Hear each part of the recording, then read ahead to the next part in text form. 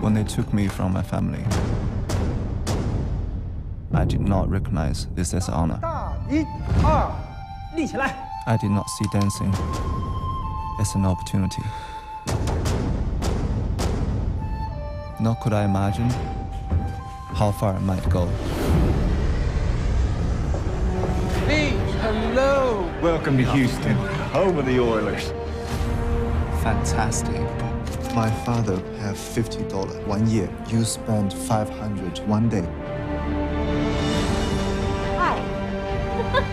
This is the biggest night in the arts calendar. How's he supposed to learn Don Quixote in three hours? He's up to it. On behalf of the Houston Ballet Company, you came as a student and leave here as a star. I'm not going back to China because I love you. I dance better here because feel more free. If you to stay in the United States, you'd have to defend. Li's worried about his family. He wants to be able to go back and see him. I'll do everything I can.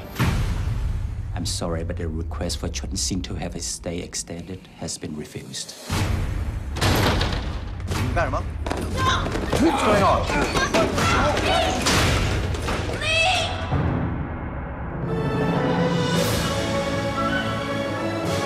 The vice presidents had discussions with Premier Deng Xiaoping.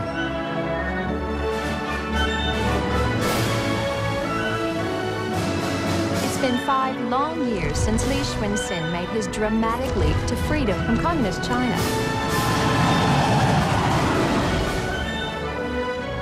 But your freedom came at a price. I haven't been allowed to go back to China since.